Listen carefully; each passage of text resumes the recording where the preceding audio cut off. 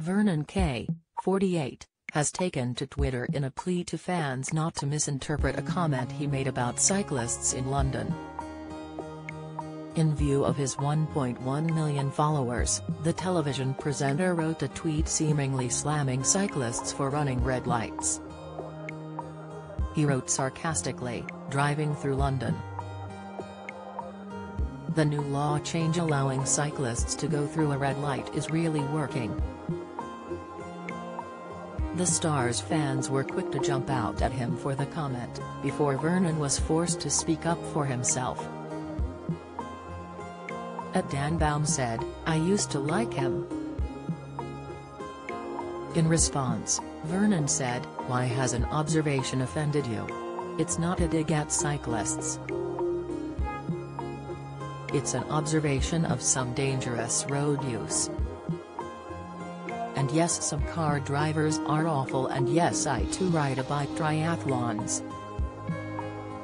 It's quite frightening how the initial tweet has been misconstrued. But I guess that's Twitter. At Robska Motorist wrote, people who criticize cyclists should actually try it first. Cyclists jump lights to avoid being alongside motorists who are hell-bent on being first away from the lights. The law, and traffic lights, should be changed to give cyclists 5 seconds head start.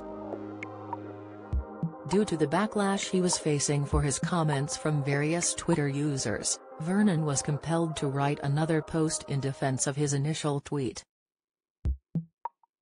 He said, well this got taken out of context, misinterpreted, twisted around, made into something it isn't very quickly.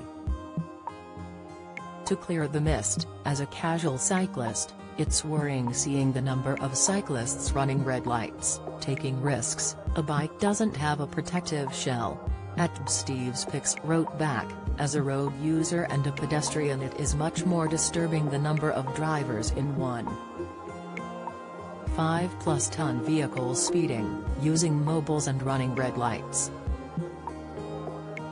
Motor vehicles directly cause 1700 plus deaths on the roads every year in the UK.